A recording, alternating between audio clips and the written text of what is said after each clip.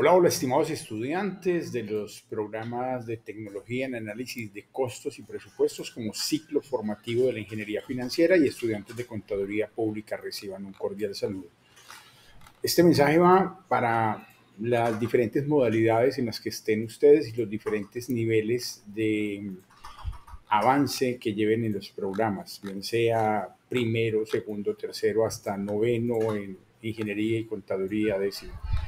Lo que quiero contarles es que en estos días eh, enviamos una información a los profesores solicitándoles que mantengan los altos estándares de calidad y niveles de exigencia en los diferentes cursos, porque post pandemia hemos detectado en las diferentes universidades un permanente mm, requerimiento de los estudiantes a que disminuyamos la intensidad, a que aplacemos exámenes, a que seamos un poco más laxos con los procesos evaluativos.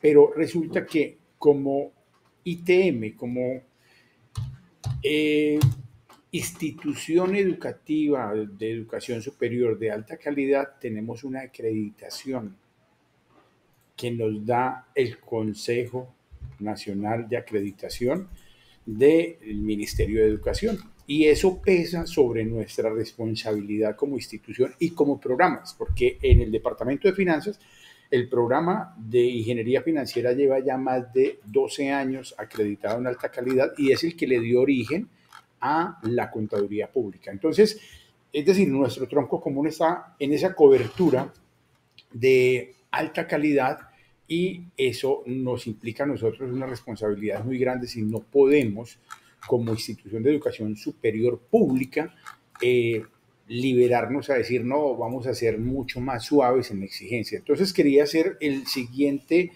eh, referente normativo que va desde la ley 30 de 1992 y uno de sus decretos reglamentarios que es de los más recientes, que es el decreto 1330, donde se define el concepto de crédito se define el concepto de crédito académico y en ese decreto y en los decretos anteriores, 1075 y otras normas, siempre se ha dicho que el crédito académico equivale a 48 horas de dedicación del estudiante para lograr los resultados de aprendizaje.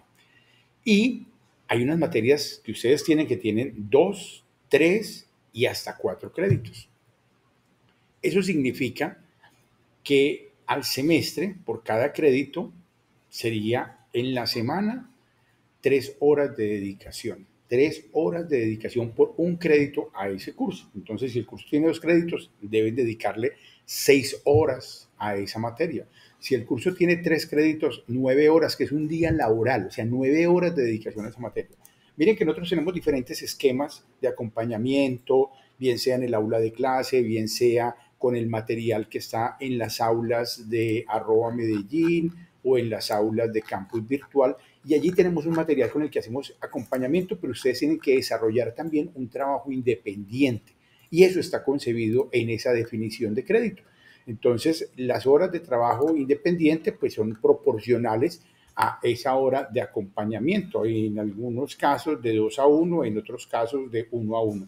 Pero lo que quiero que entiendan es que por cada crédito tenemos que trabajar 48 horas, es decir, que vengan o no vengan a la institución, porque hoy en día la tecnología nos permite a través de estas plataformas mediar y disminuir ese riesgo de estar movilizándose en motos, en carros, de contaminar, y nos permite ser más eficientes y eficaces en el proceso formativo. Pero entiendan que por cada crédito ustedes tienen que dedicar 48 horas en un semestre y por lo tanto un curso de tres requiere nueve horas de una semana o un curso de dos créditos requiere seis horas y eso es lo que ustedes están haciendo. Siempre les hago un énfasis. No hay mejor mecanismo para superar las dificultades académicas que estar apasionado y enamorado del programa. Tanto la ingeniería financiera como la contaduría pública son dos programas importantes en este momento para el mundo. Miren que hay una cosa que quería comentarles acá.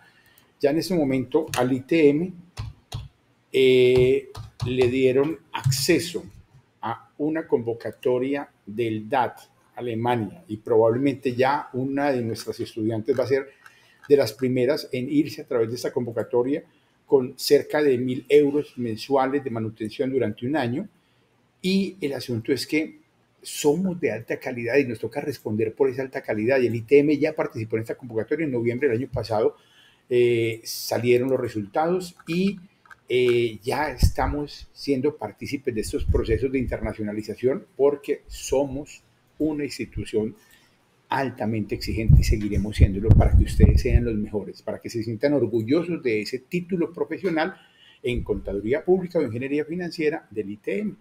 Espero que disfruten su academia y que sean capaces de superar los retos académicos, los retos evaluativos que los diferentes profesores eh, proponen a través de sus cursos. Que les vaya muy bien y que sigan así de motivadas y motivados con su programa. Éxitos y feliz semestre.